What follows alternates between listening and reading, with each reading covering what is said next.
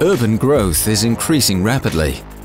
More and more goods need to get into urbanized areas. People crave transport to get around. And all the remains have to be moved out.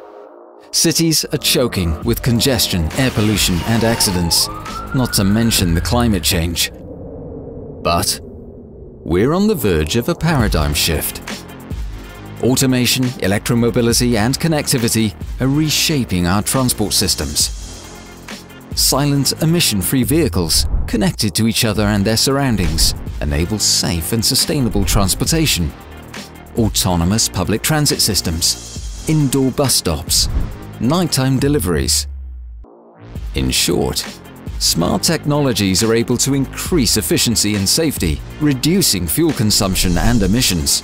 Today, that is, if standards, laws and regulations pave the way. Who takes the lead? What city will be the first to create a fully connected, automated and electric transport system? And how can industry, government and civil society partner up to support the evolution of safer, smarter cities?